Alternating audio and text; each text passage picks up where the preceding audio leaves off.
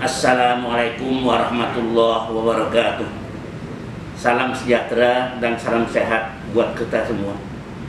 Saya Ketua Pengadilan Tinggi Agama Surabaya, Dr. Andes Haji Muhammad Yamin Awi, Sarjana Hukum, Magister Hukum, beserta seluruh keluarga besar Pengadilan Agama se-Jawa Timur, mengucapkan selamat hari ulang tahun yang ke-76 Mahkamah Agung Republik Indonesia yang tercinta tetap menjadi kebanggaan semua.